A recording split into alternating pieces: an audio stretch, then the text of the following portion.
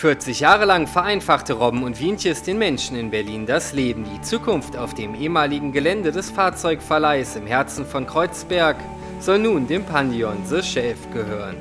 Ein neuartiger Mikrokosmos, der die Menschen ins Gespräch bringen soll. Ein Ort für Unternehmen, Künstler und Start-ups, der bis zum ersten Quartal 2021 fertig gebaut sein soll. Unsere Vision ist, einen Gewerbehof 2.0 zu entwickeln. Das heißt, die Gewerbehöfe, die es in Kreuzberg gibt, neu zu interpretieren und zu modernisieren. Das ist uns mit der Architektur, wie wir finden, schon sehr gut gelungen.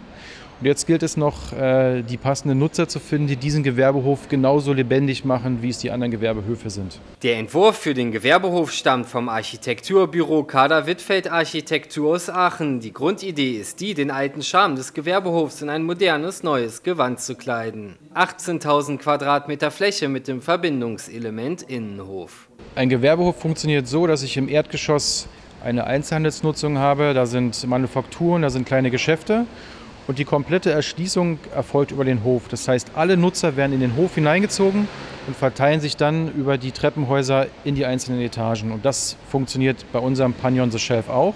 Das heißt, alle gehen über den Trichter, den wir geplant haben, in den Hof hinein und gehen von dort in die einzelnen Geschosse. Nicht unwichtig im Erscheinungsbild des Pandion The Shave sind die großen, offenen, einladenden Fensterfassaden. Zudem wird es in Verbindung mit einem Start-up auch eine interessante Außenflächennutzung geben. Der altbekannte Satz ohne Moos nichts los bekommt in Kreuzberg nun eine klimafreundliche Bedeutung. Die Außenanlagen sollen als Arbeitsort in der Außenfläche nutzbar sein. Also mit Sitzmöbeln, mit einer Tribüne, die gebaut wird, wo die Unternehmen ihre Meetings machen können. Und darüber hinaus wollen wir an dem Zugang zum Gewerbehof die schlechte Luft der Prinzenstraße blocken und filtern.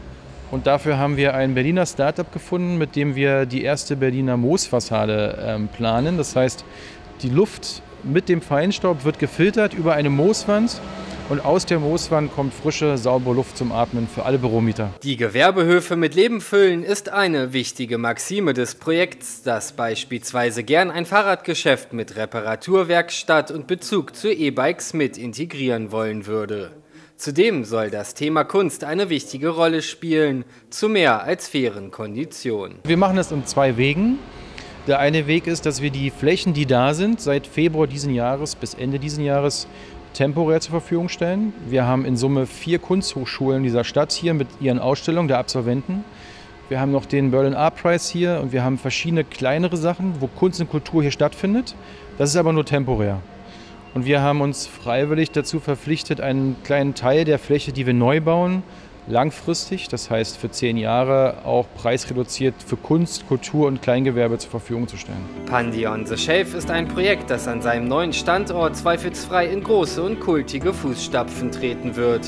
Für die Berlinerinnen und Berliner aber ebenfalls ein verbindendes Element sein will.